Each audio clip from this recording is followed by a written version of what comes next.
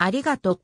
は、2011年4月4日から2016年3月31日まで、首都圏トライアングル加盟局で放送されたテレビ、神奈川制作の地域情報バラエティ番組である。TBK での放送時間は、月金12時14時。首都圏トライアングル局としてネットしているテレビ、埼玉と千葉テレビ放送は、月金12時12時30分までの放送。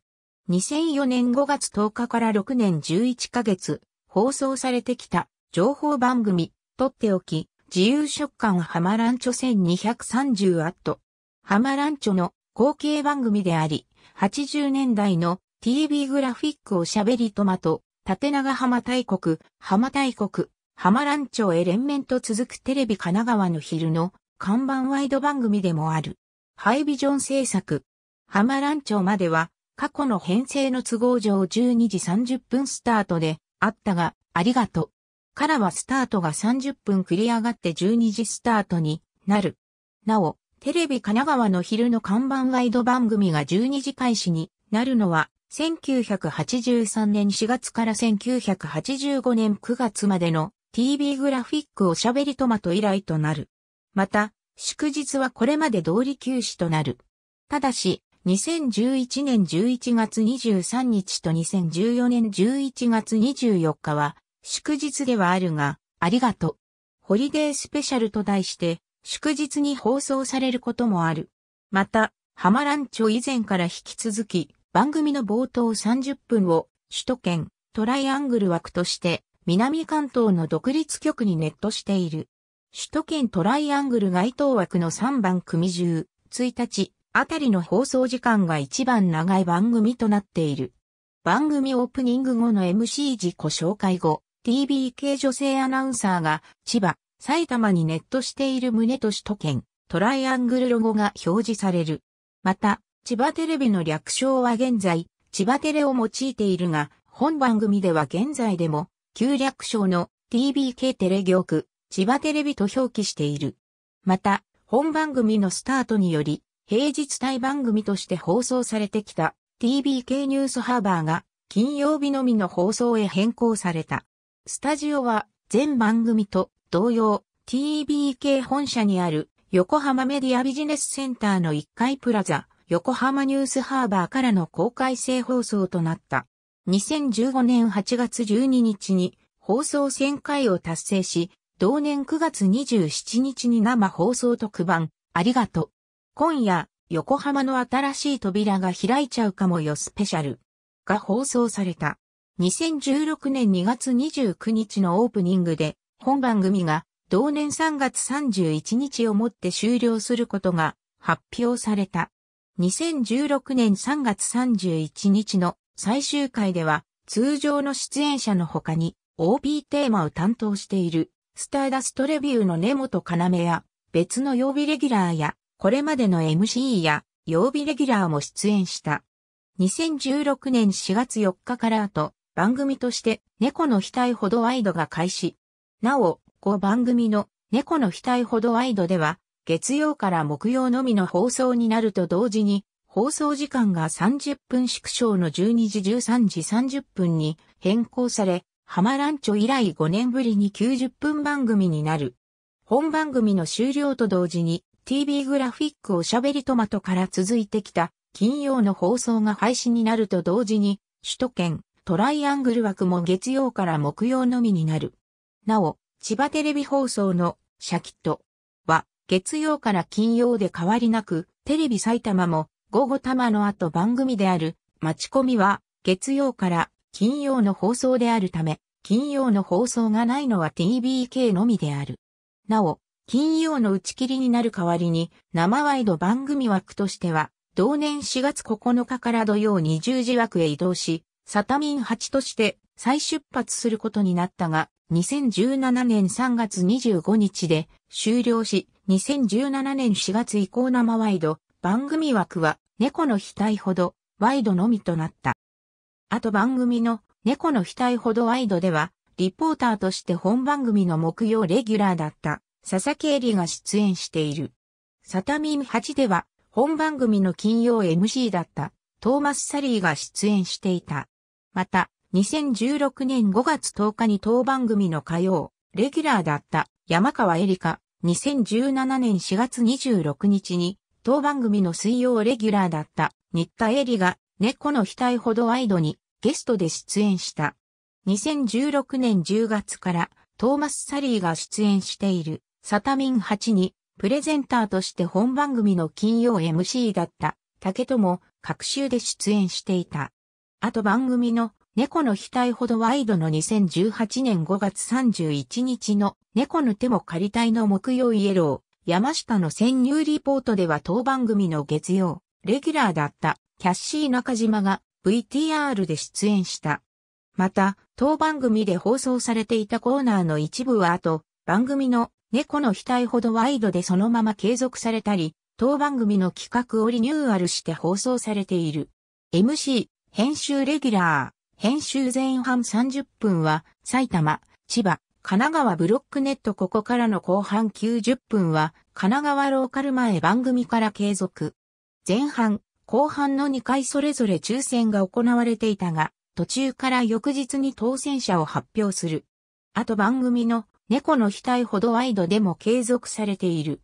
猫の額ほどワイドでは後半に抽選が行われ、当選した1人から2人に生電話をし、残りの当選者と生電話をした当選者を翌日に発表する形となった。全番組から継続。ハマランチョではニュースハーバーから伝える形式だったが、本番組から TBK 本社4階の第4スタジオから伝える形式に変更された。あと番組の猫の額ほどワイドでも継続されている。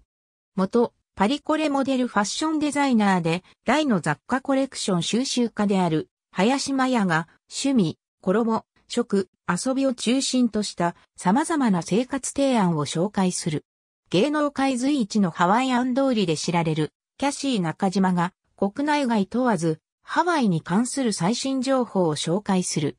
大手化粧品、健康食品メーカーのファンケルから誰でも簡単に美味しく健康になれる料理及び健康に関する最新情報を紹介する。水中カメラマンとして世界中を駆け巡っている鍵井康明が湘南の海の中にいる生き物を自ら撮った写真を用いて詳しく紹介する。海外で社会奉仕活動をしているアグネスの現在の世界の実情を紹介する。現役の歯科医が登場し、健康に深く関わるお口のケアについて詳しく紹介する。あと番組の猫の額ほどワイドでも放送されている。視聴者からの意見をコンセプトにして、松風正也がプロジェクトリーダーとなり番組独自のオリジナル新商品の企画、開発を行う。火曜レギュラーの松本が神奈川の元気になれるスポット一言を元気に散歩をしながら紹介する。なお、松本はどこを散歩するかを事前に知らされていないため、その場所までの移動の間はアイマスクを着用している。設定金額は初回のみ4枚のカードから1枚を選んで、その選んだカードに書いてある金額がお小遣いになっていたが、2回目からサイコロを振って出た金額が設定金額となると同時に必ず0円が設定金額になった場合でもお土産を買わないといけないというルールが追加された。サイコロに書いてある金額は0円500円1000円1500円2000円5000円の6種類。2015年12月と2016年1月のみ、設定金額がサイコロを振って出た金額2倍になっている。初回のみ実施したカードで、設定金額を決める方法はと番組の猫の額ほどワイドでの月曜の今川壁会の青春18グルメ切符で実施されている。今川壁会の青春18グルメ切符では、設定金額ではなく場所を決めている。2017年12月4日の今川壁会の青春18グルメ切符では、歳末 SP として当コーナーで実施したサイコロを振って、設定金額を決める方法が復活した。当コーナーでの設定金額は0円500円1000円1500円2000円5000円の6種類だったが、今川壁会の青春18グルメ切符では500円、1000円、1500円、2000円、2500円、3000円の6種類に変更された。元東京バレエ団のメンバーで、東京、赤坂にあるフィットネススタジオネイチャーボディハウスのアドバイザーを務める国際的バレエダンサーの武田淳がバレエをベースとして誰にでも簡単にできるフィットネス体操を紹介する。あと番組の猫の額ほどワイドでは小林克也のキューツとエクササイズとしてしなやかな美尻を目指すエクササイズを紹介している。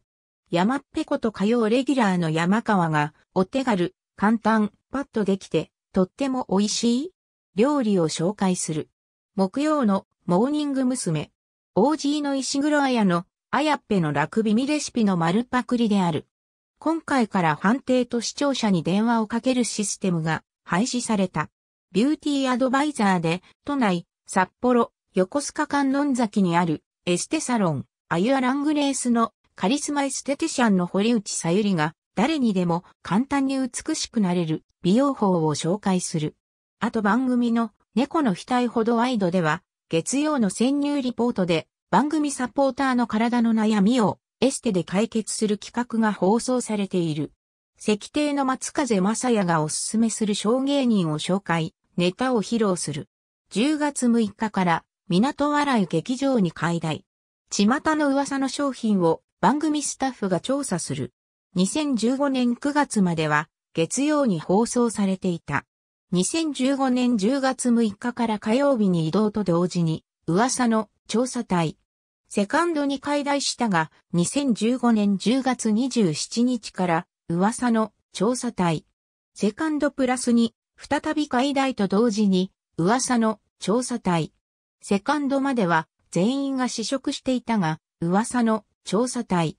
セカンドではの札で丸の札を引いた人しか試食できないルールが導入された。あと番組の猫の額ほどワイドでは、帯企画で今日のおやつとして放送され、噂の調査隊。セカンドまでと同様に全員が試食している。横浜をメインにしたアート情報を紹介する。2011年度以来3年ぶりの復活。水中カメラマンとして世界中を駆け巡っている鍵井康明が湘南の海の中にいる生き物を自ら撮った写真を用いて詳しく紹介する。80年代の洋楽のヒット曲を紹介する。横浜を愛し、横浜を知り尽くした水曜レギュラーの北原照久が、久本真奈と横浜を巡るコーナー。今話題の旬なゲストとトークする。元おにゃんこクラブメンバーで、アクセサリーデザイナーとしても活動している、新田エリが、誰にでも簡単に作れるオリジナルデコレーションフ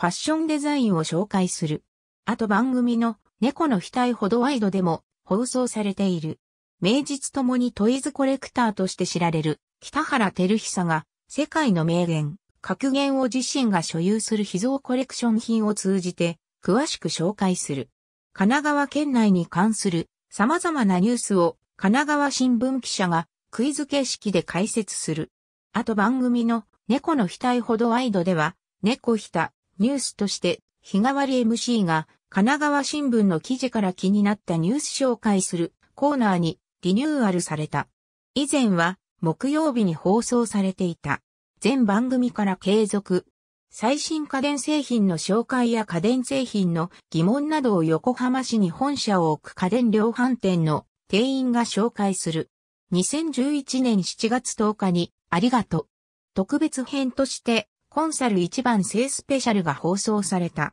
あと番組の猫の額ほどワイドでは、IoT 一番性未来家電私でも使えた。として放送されている。全番組から継続。川崎市で行われている音楽イベントを紹介する。番組内で放送した内容の一部をクイズとして出題し、視聴者からメールファックスで参加を募集し、抽選で選ばれた方に直接電話をかけ、正解すれば素敵なプレゼントがもらえるコーナー。あと番組の猫の額ほどワイドでは、猫の手も借りたいみんなでやってみよう。で、同様の企画が放送された。水中カメラマンとして世界中を駆け巡っている鍵井康明が湘南の海の中にいる生き物を自ら撮った写真を用いて詳しく紹介する。木曜レギュラーの佐々木恵里が街歩きをしながら、日記のように写真で旅を綴っていくコーナー。なお、佐々木恵里はスタジオに出演している時も、自分のカメラを持参している。あと番組の猫の額ほどワイドでは、2016年10月17日より、出演している月曜イエローの石原相場が、潜入リポートで撮った写真の中から、ベストショットを発表する石原相場の今日の一枚があるのと同時に、佐々木と同様にスタジオに出演している時も、自分のカメラを持参している。開局40周年記念ソング、カモン。神奈川のダンスをコリオグラファーの南さすががわかりやすく紹介する。モーニング娘。OG で数多くの子育てエッセイ、料理本を出版しているカリスマ主婦の石黒彩が視聴者からのリクエストをもとに石黒自ら考案した料理を生披露する。愛がマリコが小学校前のお子さんの年齢に合わせたチークや右に立っている丸太関連の情報を提供する。当番組終了後の2016年4月から毎週土曜6時55分7時枠のウェザーレポート内でマルタのダンスが放送されている。2017年5月28日に行われる 2017TBK 秋じゃないけど収穫祭地元ワンダフル祭りの〇〇マルタのステージに当番組の木曜レギュラーだった佐々木恵里も登場する。毎回ガーデニング、造園家のプロが登場し、ちょっとした工夫で外見が良くなるガーデニング術を紹介する。あと番組の猫の額ほどワイドでは、三上正史の猫ひたガーデニング部として放送されている。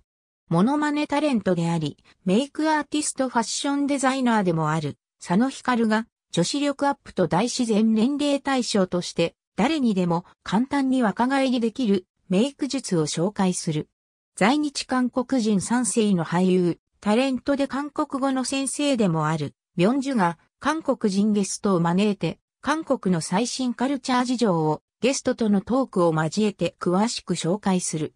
女性にとって永遠の悩みでもある美しさに関する問題、トラブルなどを視聴者からの意見や質問などをもとに、専門の医師、カウンセラーが対処法などを詳しく紹介する。シンガーソングライターの畑真理子が神奈川県内のおすすめスポットを歩き回り、そこで見つけた話題、生活情報を畑自らの目線で紹介する。横浜港未来地区にあるブリリアショートショートシアターの奈良太一マネージャーが国内外を問わず最新の短編映画作品を詳しく紹介する。水中カメラマンとして世界中を駆け巡っている鍵井康明が湘南の海の中にいる生き物を自ら撮った写真を用いて詳しく紹介する。神奈川県内の様子を朝から撮って出しで紹介する。リポーターは、ウッズ一郎。2015年9月までは、竹小山の男の料理がある時のみ番組の最後まで、スタジオに出演していたが、2015年10月以降は、毎週スタジオに出演している。また、2015年10月27日のみ、火曜日も放送した。プロゴルファーで、ゴルフ解説者の小山武明が、番組スタッフが決めた目的地までを寄り道をしながら散歩する。小山武明が、スタジオで、豪快かつワイルドな男の手料理を生披露する。アニール・クマール・セティが誰でもできるヨガを紹介する。番組プロデューサーの坂本紅子が週末公開予定の映画情報、撮影に関する日は裏話を紹介する。神奈川県内の医療スタッフが病気、医療に関する素朴な疑問をわかりやすく紹介する。神奈川県内各市町村の催し物などの情報を紹介する。竹と小山竹明、アニールクマールセティ、ウッズ一郎の男性陣4人があるテーマについて語り合う。あと番組の猫の額ほどワイドでは、猫額相談室として視聴者の悩みや相談を解決するコーナーと、ブラック、谷水のスイートトークタイムして放送されている。水中カメラマンとして世界中を駆け巡っている鍵井康明が湘南の海の中にいる生き物を自ら撮った写真を用いて詳しく紹介する。80年代の洋楽のヒット曲を紹介する。全番組から一部を継続。横浜市西区にある施設、横浜アンパンマン、子供ミュージアムの館内を子役タレントがリポートの後、アンパンマン体操が流れる。全番組では、アンパンマン体操の際に天気予報を表示していたが、本番組になってからは表示されなくなった。また、高校野球中継時や祝祭日等で番組休止時はアンパンマン体操の映像に天気予報を字幕表示した形式で TBK ウェザーレポート枠にて大体放送されていた。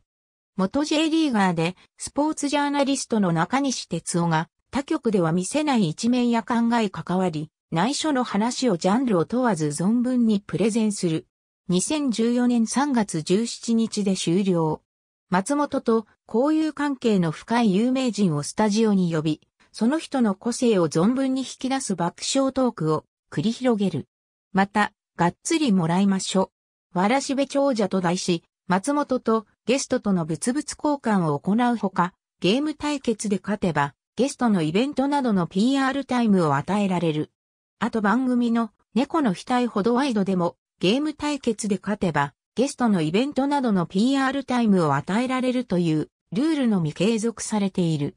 松本理香がその筋を極めた匠のもとを訪れ、体を張ってその技を伝授するコーナー。インターネットポータルサイト、サンプル百貨店を運営している株式会社ルーク19の代表取締役社長兼 CEO の渡辺飛鳥が同サイトのアンケート調査をもとに食、美容、健康、おすすめスポットなど最新トレンド情報を主婦の目線で女性経営者としての視点でわかりやすく紹介する。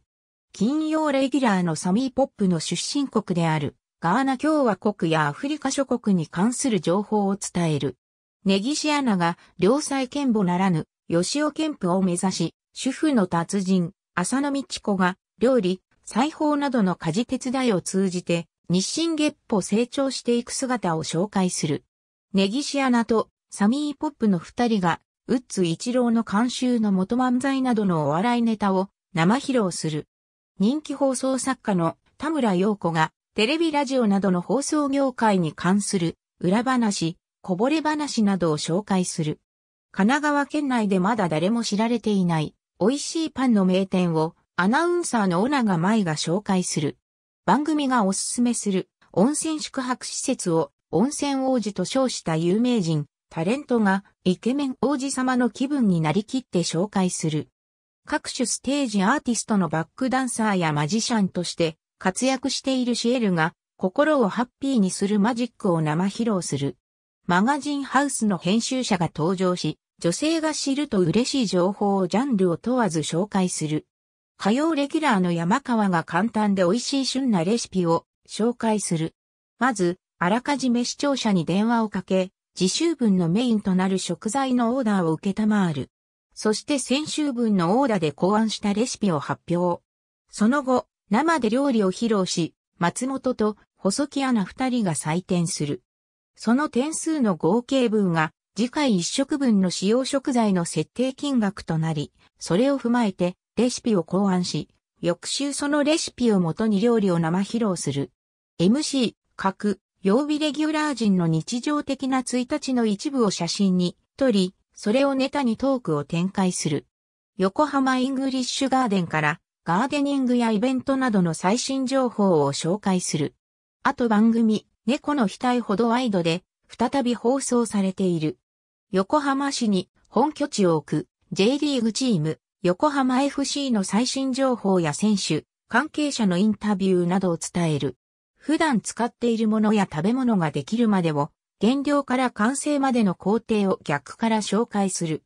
2015年6月までは、長沢彩子が担当していたが、同年7月から久本真奈に変更。火曜レギュラーの松本が動物に関する情報やグッズを紹介する。また、うちの子一言もの申す。では視聴者からペットの写真を募集して、その時ペットが何を思っているのかをペットに代わって松本が伝える。毎月第1火曜日は動物の疑問、質問を兵道動物病院代表の兵道哲夫先生が答える。あと番組、猫の額ほどワイドでは、2017年11月21日の潜入リポートで、兵道哲夫先生が VTR で出演した。火曜レギュラーの山川が簡単で美味しい旬なレシピを紹介する。2012年4月から2015年3月までのオーダー受けたまわります。オリニューアル。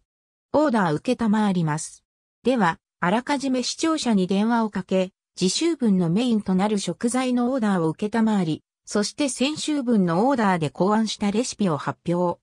その後、生で料理を披露し、松本と三浦アナと松風の3人が採点し、その点数の合計分が次回1食分の使用食材の設定金額となり、それを踏まえてレシピを考案し、翌週そのレシピをもとに料理を生披露していたが、カフェで営利会へようこそ。では、メインとなる食材は山川が決めて考案したレシピを発表。その後、生で料理を披露する。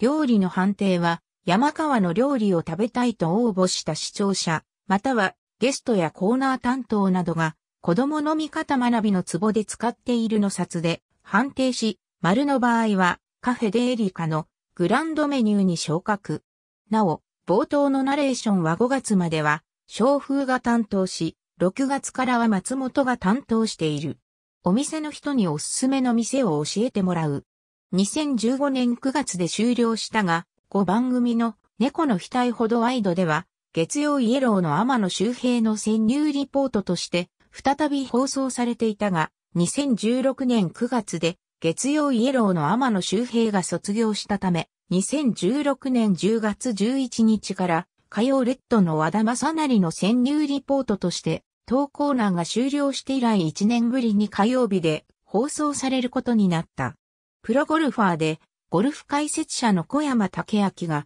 神奈川県内の札所、史跡、景勝地、おすすめスポットを男の目線で紹介する。火曜レギュラーの山川が白ご飯に合うオリジナルのおかずを紹介する。メインとなる食材は2012年4月から2015年3月までのオーダー受けたまわります。と同様に、あらかじめ視聴者に電話をかけ、次週分のメインとなる食材のオーダーを受けたまわり、そして先週分のオーダーで考案したレシピを発表。その後、生で料理を披露し、松本と三浦と松風の3人が判定をする。判定方法は、初回のみおかわりの札あげるかあげないかで判定していたが、2回目からは視聴者からのメールにより、札に書いてあるおかわりはごちそうさまで判定をする方式に変更した。